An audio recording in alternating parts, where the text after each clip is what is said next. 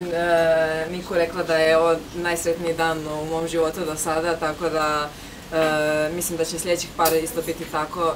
Iskreno sam jako ponosna i sretna što sam donijela medalju Hrvatskoj i sebi i mom timu, mojoj obitelji, tako i hvala svima na podršci, znači ne mogu vam opisati koliko mi to znači.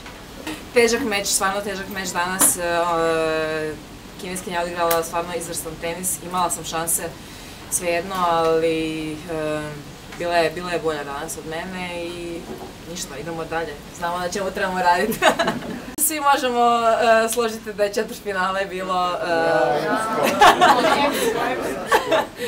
četvrtfinale je bilo posebno, spasila sam meč loptu, napravila par dupli na svoje meč lopte, ali rekla sam kad se igra za Hrvatsku, nervoza je malo veća, emocije su tu, Čak i danas na početku meča, znači nisam znala di sam, di da gledam, ali kad sam ušla u meč bilo mi malo lakše. E, finala je definitivno bilo presudno i Pekić je bio stvarno dobar meč i kad sam osvojila tu medalju bila sam lakša 20 kila. Jedan moj prijatelj je